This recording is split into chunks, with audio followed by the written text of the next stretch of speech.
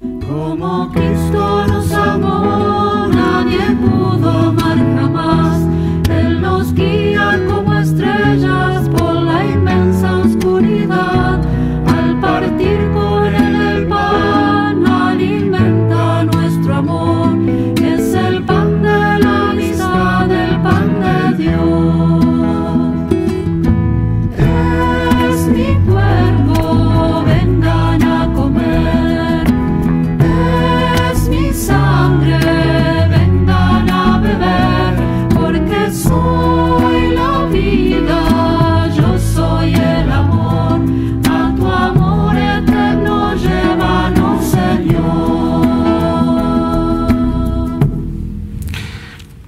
a ponernos en la presencia del Señor, en el nombre del Padre, del Hijo y del Espíritu Santo. Amén. Que la gracia de nuestro Señor Jesucristo, el amor de Dios, que es nuestro Padre, y la comunión del Espíritu Santo esté con ustedes. Y con tu espíritu. Nos reunimos este domingo para celebrar al Señor, para alabarlo, para dar gracias a Dios por, por todas las cosas buenas que nos da, por todas las cosas buenas que suceden a nuestro alrededor, para poner también en sus manos nuestras preocupaciones, nuestras tristezas. Sabemos que Él siempre está ahí también acompañándonos y bendiciéndonos. Y pedirle al Señor que nos dé siempre la fortaleza para, para vivir con alegría nuestra fe y para poderla transmitir también, transmitir esa alegría que nace del Evangelio a nuestros hermanos. Los invito a comenzar nuestra celebración como lo hacemos siempre, que es reconociendo delante de Dios nuestras debilidades, nuestras faltas y pidiéndole al Señor que nos regale la gracia de la conversión. Tú que no has venido a condenar, sino a perdonar, Señor, ten piedad. Señor, ten piedad. Tú que has dicho que hay gran fiesta en el cielo por un pecador que se arrepiente, Cristo, ten piedad. Cristo, ten piedad. Tú que perdonas mucho a quien mucho ama, Señor, ten piedad. Señor, ten piedad. Y Dios, que es un Padre rico en amor y en misericordia, que sabemos tiene siempre piedad de nosotros, le pedimos que perdone nuestros pecados y nos lleve un día a la vida eterna. Amén. Y juntos cantamos la gloria de Dios.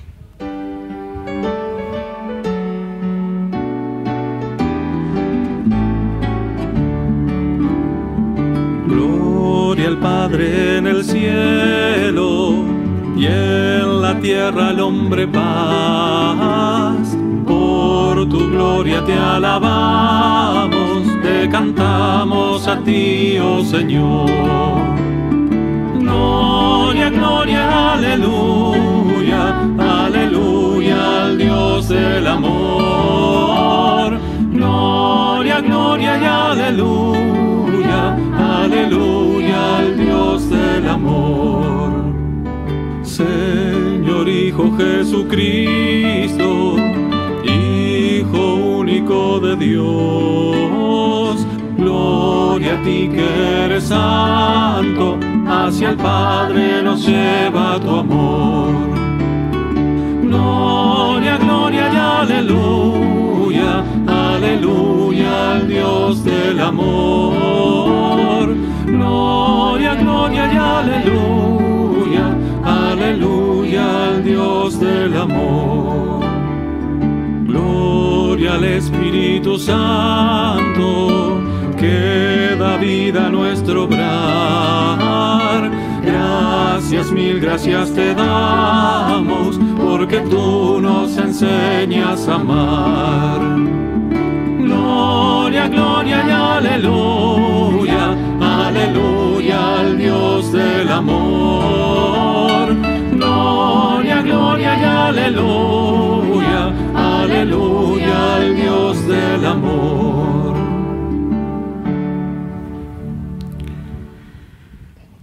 Oremos.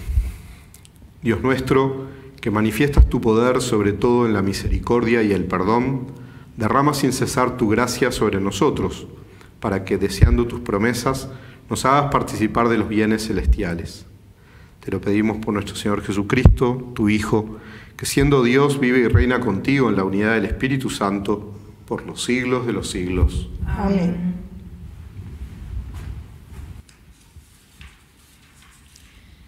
Lectura de la profecía de Amós. Hay de los que se sienten seguros en Sión, acostados en lechos de marfil y apoltronados en sus divanes. Comen los corderos del rebaño y los terneros sacados del establo. Improvisan al son del arpa y como David inventan instrumentos musicales. Beben el vino en grandes copas y se ungen con los mejores aceites, pero no se afligen por la ruina de José. Por eso ahora irán al cautiverio al frente de los deportados y se terminará la orgía de los libertinos. Palabra de Dios. Te alabamos, Señor. Alaba al Señor, alma mía. Alaba al Señor, alma mía. El Señor mantiene su fidelidad para siempre, hace justicia a los oprimidos y da pan a los hambrientos. El Señor libera a los cautivos. Alaba al Señor, alma mía. El Señor abre los ojos de los ciegos y endereza a los que están encorvados. El Señor ama a los justos, el Señor protege a los extranjeros. Alaba al Señor, alma mía. Sustenta al huérfano y a la viuda, y entorpece el camino de los malvados. El Señor reina eternamente, reina tu Dios Sión a lo largo de las generaciones. Alaba al Señor, alma mía. Lectura de la primera carta del apóstol San Pablo a Timoteo. Hombre de Dios, practica la justicia, la piedad, la fe, el amor, la constancia, la bondad. Pelea el buen combate de la fe, conquista la vida eterna a la que has sido llamado y en vista de la cual hiciste una magnífica profesión de fe en presencia de numerosos testigos. Yo te ordeno delante de Dios, que da vida a todas las cosas, y delante de Cristo Jesús, que dio buen testimonio ante Poncio Pilato. Observa lo que está prescrito, manteniéndote sin mancha e irreprensible hasta la manifestación de nuestro Señor Jesucristo, manifestación que hará aparecer a su debido tiempo el bienaventurado y único soberano, el Rey de los reyes y Señor de los señores, el único que posee la inmortalidad y habita en una luz inaccesible, a quien ningún hombre vio ni puede ver. A Él sea el honor y el poder para siempre. Amén. Palabra de Dios. Te alabamos, Te alabamos Señor.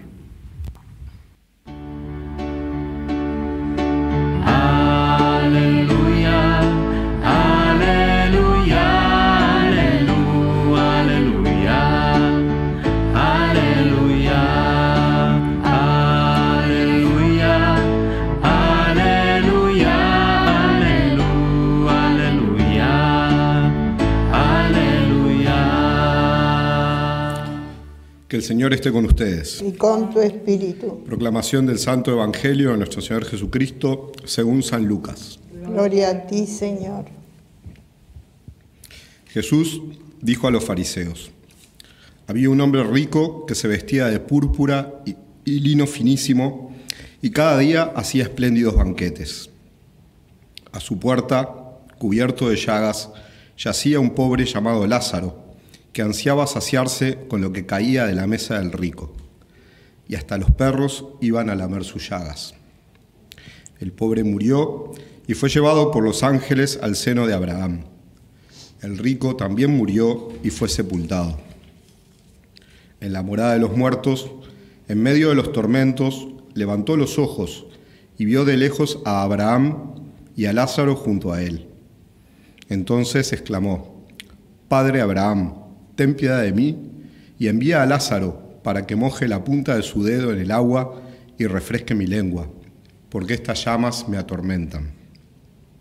Hijo mío, respondió Abraham, recuerda que has recibido tus bienes en vida y Lázaro en cambio recibió males. Ahora él encuentra aquí su consuelo y tú el tormento. Además, entre ustedes y nosotros se abre un gran abismo, de manera que los que quieren pasar de aquí hasta allí no pueden hacerlo, y tampoco se puede pasar de allí hasta aquí. El rico contestó, Te ruego entonces, Padre, que envíes a Lázaro a la casa de mi Padre, porque tengo cinco hermanos, que Él los prevenga, no sea que ellos también caigan en este lugar de tormento. Abraham respondió, Tienen a Moisés y a los profetas, que los escuchen.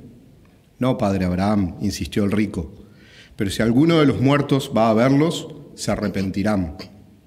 Pero Abraham respondió, si no escuchan a Moisés y a los profetas, aunque resucite alguno de entre los muertos, tampoco se convencerán.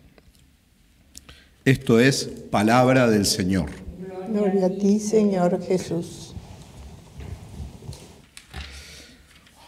La liturgia nos propone hoy esta parábola que de alguna manera se enlaza con el Evangelio del domingo pasado, ¿verdad? Donde nos habla también del tema, nos hablaba también del tema de las riquezas y cómo de alguna manera no podíamos servir a dos señores, a Dios y al dinero. Y nos pone Jesús entonces para iluminar, para ilustrar de alguna manera ese contraste, ¿verdad?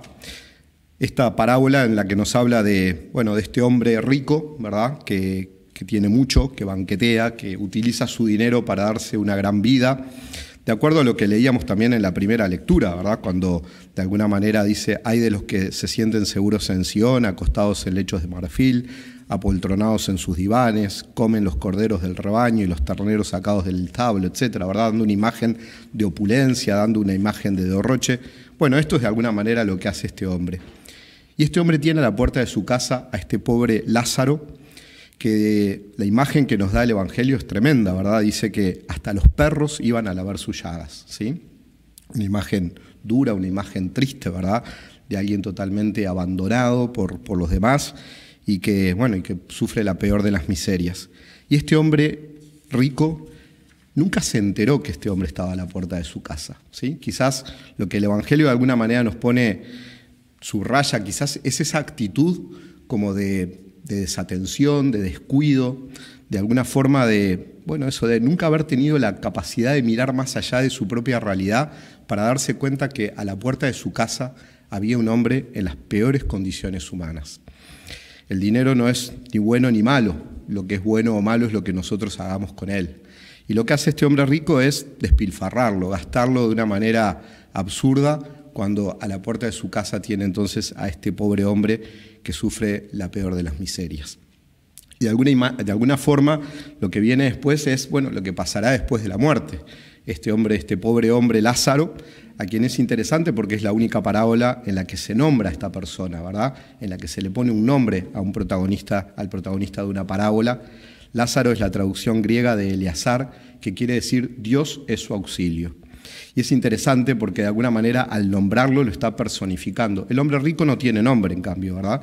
Lázaro, en cambio, es alguien perfectamente identificado a los ojos de Dios.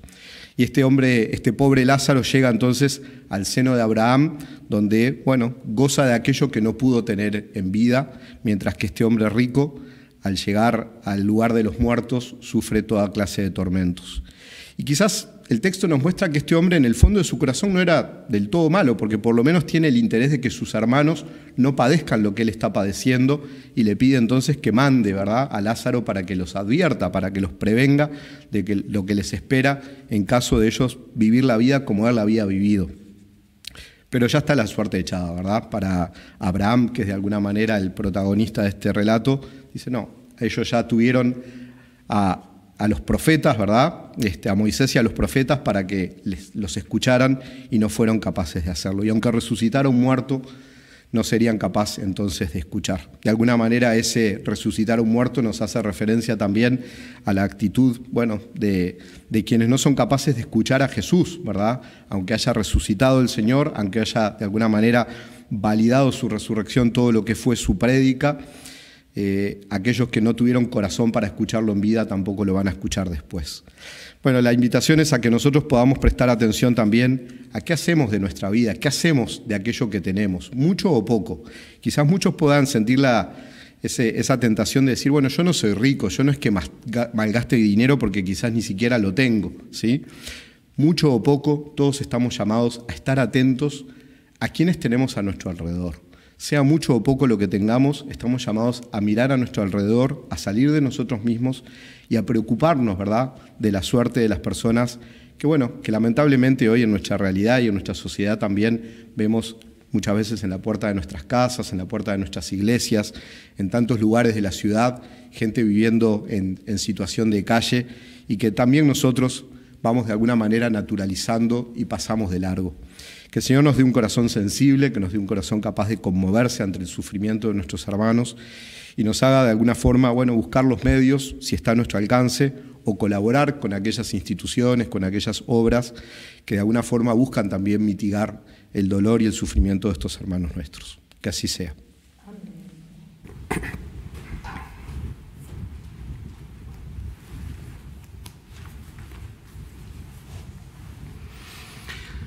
Los invito a que juntos hagamos profesión de nuestra fe diciendo, creo en un solo Dios, Padre Todopoderoso, Creador del cielo y de la tierra, de todo lo visible y lo invisible. Creo en un solo Señor Jesucristo, Hijo único de Dios, nacido del Padre antes de todos los siglos. Dios de Dios, luz de luz, Dios verdadero de Dios verdadero, engendrado, no creado, de la misma naturaleza del Padre por quien todo fue hecho, que por nosotros los hombres y por nuestra salvación bajó del cielo, y por obra del Espíritu Santo se encarnó de María la Virgen y se hizo hombre. Y por nuestra causa fue crucificado en tiempos de Poncio Pilato, padeció y fue sepultado, y resucitó al tercer día según las Escrituras, y subió al cielo, y está sentado a la derecha del Padre, y de nuevo vendrá con gloria para juzgar a vivos y muertos, y su reino no tendrá fin.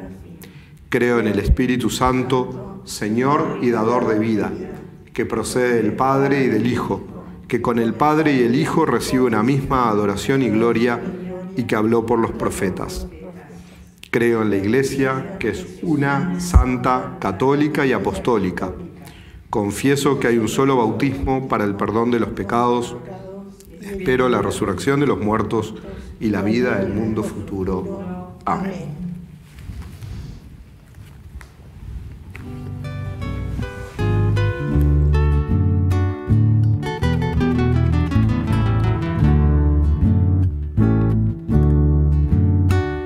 Samba del grano de trigo, mañana yo he de ser pan. No le tengo miedo al surco, algún día he de brotar. No le tengo miedo al surco, algún día he de brotar. Barbecho de terrón fresco, tu sangre yo he de mamar. Tierra que serás mi madre, un nuevo ser me has de dar.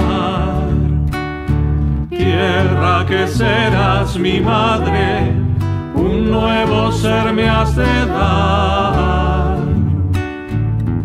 Silencio y noche en mi tumba, espigas germinarán ciento por uno y molienda, mañana llueve ser pan. Ciento por uno y molienda, mañana llueve ser pan. Recemos, hermanos, para que este sacrificio, que es mío y que es de ustedes, sea agradable a Dios Padre Todopoderoso. El Señor reciba de tus manos este sacrificio para alabanza y gloria de su nombre, para nuestro bien y el de toda su santa iglesia. Dios misericordioso, concédenos que nuestra ofrenda te sea aceptable y que mediante ella se nos abra la fuente de toda bendición. Te lo pedimos por Jesucristo nuestro Señor. Amén. Que el Señor esté con ustedes. Y con tu espíritu Levantemos el corazón. lo tenemos levantado hacia el Señor. Demos gracias al Señor nuestro Dios. Es justo y necesario. En verdad, es justo bendecirte y darte gracias, Padre Santo, fuente de la verdad y de la vida, porque nos has convocado en tu casa en este día de fiesta. Hoy tu familia, reunida en la escucha de tu palabra y en la comunión del pan único y partido, celebra el memorial del Señor resucitado, mientras espera el domingo sin ocaso en el que la humanidad entera entrará en tu descanso. Entonces podremos contemplar tu rostro y alabar para siempre tu misericordia. Con esta gozosa esperanza y unidos a los ángeles y a los santos, cantamos unánimes el himno de tu gloria. Santo es el Señor, Osana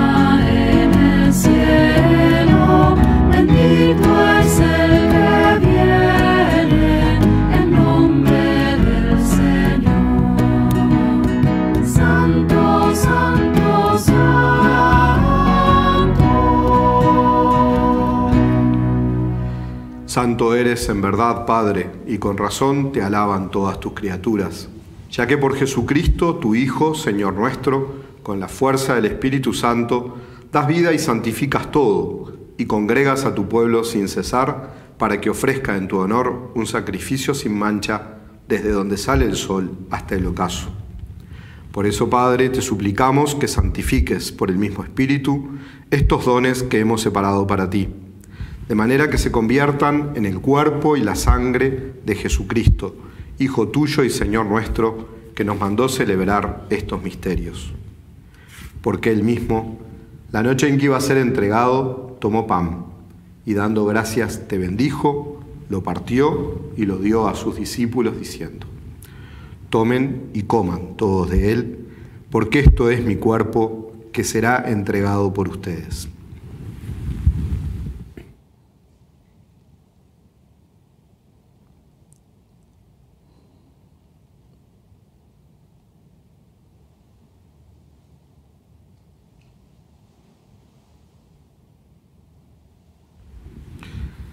Del mismo modo, acabada la cena, tomó el cáliz, dando gracias te bendijo y lo pasó a sus discípulos diciendo, tomen y beban todos de él, porque este es el cáliz de mi sangre, sangre de la alianza nueva y eterna, que será derramada por ustedes y por muchos para el perdón de los pecados.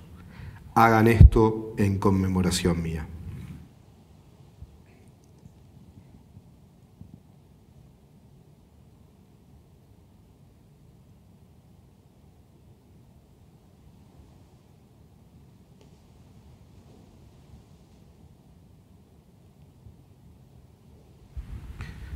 Y desde entonces este es el sacramento de nuestra fe. Anunciamos tu muerte, proclamamos tu resurrección. Ven, Señor Jesús. Así, Padre, al celebrar ahora el memorial de la pasión salvadora de tu Hijo, de su admirable resurrección y ascensión al cielo, mientras esperamos su venida gloriosa, te ofrecemos en esta acción de gracias el sacrificio vivo y santo. Dirige tu mirada sobre la ofrenda de tu iglesia y reconoce en ella a la víctima por cuya inmolación quisiste devolvernos tu amistad, para que fortalecidos con el cuerpo y la sangre de tu Hijo y llenos de su Espíritu Santo, formemos en Cristo un solo cuerpo y un solo espíritu. Que Él nos transforme en ofrenda permanente para que gocemos de tu heredad junto con tus elegidos, con María, la Virgen Madre de Dios, San José, su esposo, los apóstoles y los mártires, y todos los santos, por cuya intercesión confiamos obtener siempre tu ayuda. Te pedimos, Padre, que esta víctima de reconciliación traiga la paz y la salvación al mundo entero. Confirma en la fe y en la caridad a tu iglesia peregrina en la tierra, a tu servidor, el Papa Francisco, a nuestro obispo, el Cardenal Daniel, a su obispo auxiliar, Luis Eduardo, al orden episcopal, a los presbíteros y diáconos y a todo el pueblo redimido por ti. Atiende los deseos y súplicas de esta familia que has congregado en tu presencia en el domingo, día en que Cristo ha vencido a la muerte y nos ha hecho partícipes de su vida inmortal. Reúne en torno a ti, Padre misericordioso, a todos tus hijos dispersos por el mundo, a nuestros hermanos difuntos y a cuantos murieron en tu amistad, recíbelos en tu reino donde esperamos gozar todos juntos de la plenitud eterna de tu gloria. Por Cristo Señor nuestro, por quien concedes al mundo todos los bienes. Por Cristo, con Él y en Él, a ti Dios Padre Omnipotente, en la unidad del Espíritu Santo, todo honor y toda gloria por los siglos de los siglos. Amén. El amor de Dios ha sido derramado en nuestros corazones con el Espíritu Santo que se nos ha dado. Movidos por ese Espíritu, digamos con fe y con esperanza. Padre nuestro que estás en el cielo, santificado sea tu nombre, venga a nosotros tu reino, hágase tu voluntad en la tierra como en el cielo. Danos hoy nuestro pan de cada día, perdona nuestras ofensas, como también nosotros perdonamos a los que nos ofenden no nos dejes caer en la tentación y líbranos del mal. Líbranos de todos los males, Señor, y concédenos la paz en nuestros días, para que, ayudados por tu misericordia, vivamos siempre libres de pecado y protegidos de toda perturbación, mientras esperamos la gloriosa venida de nuestro Salvador Jesucristo. Tuyo es el reino, tuyo el poder y la gloria por siempre, Señor. Señor Jesucristo, que dijiste a tus apóstoles, la paz les dejo, mi paz les doy. No tengas en cuenta nuestros pecados, sino la fe de tu iglesia, y conforme a tu palabra, concédele la paz y la unidad. Tú que vives y reinas por los siglos de los siglos. Amén. Que la paz del Señor esté con todos ustedes. Y con tu espíritu.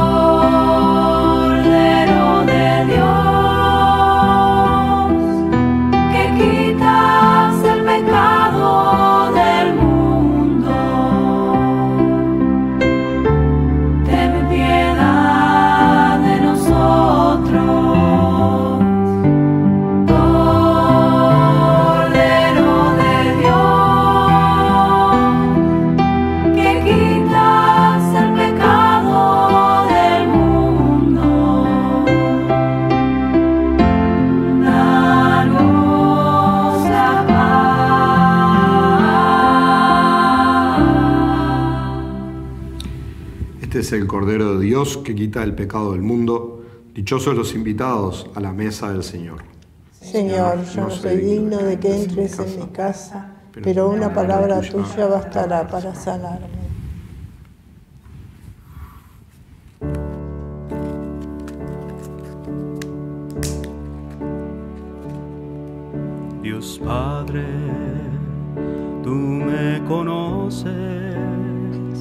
Sabes mi nombre y a donde voy tú estás conmigo, me llama. Creo, Jesús mío, que estás realmente presente en el Santísimo Sacramento del altar.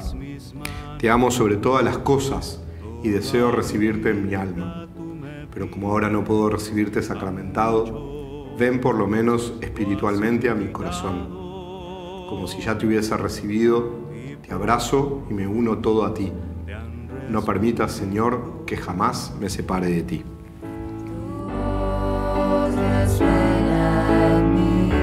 Y va aumentando. Tu voz resuena en mí. Tu voz es clara. Tu voz resuena en mí. Tu voz me impulsa.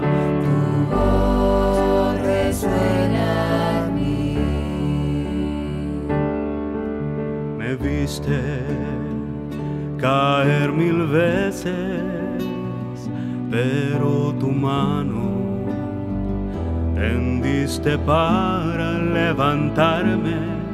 Ahora no tengo miedo si estás conmigo.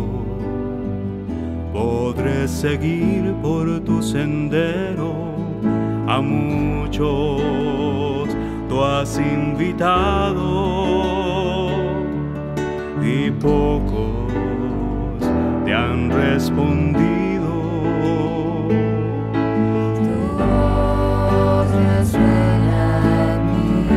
Y va aumentando.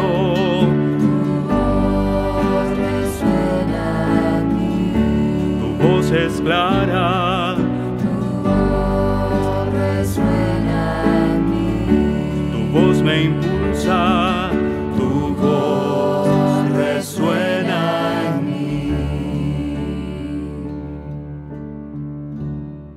Oremos. Por esta Eucaristía que hemos celebrado, renueva, Señor, nuestro cuerpo y nuestro espíritu, para que participemos de la herencia gloriosa de tu Hijo, cuya muerte anunciamos y compartimos. Te lo pedimos por Él, que vive y reina por los siglos de los siglos. Amén. Que el Señor esté con ustedes. Y con tu espíritu. Que la bendición de Dios Todopoderoso, que es Padre, Hijo y Espíritu Santo, descienda sobre cada uno de ustedes, sobre sus familias y los acompañe siempre. Amén. Hemos celebrado la Eucaristía, podemos ir en paz. Demos gracias a Dios. Mi alma canta el amor de Dios y mi espíritu al salvar.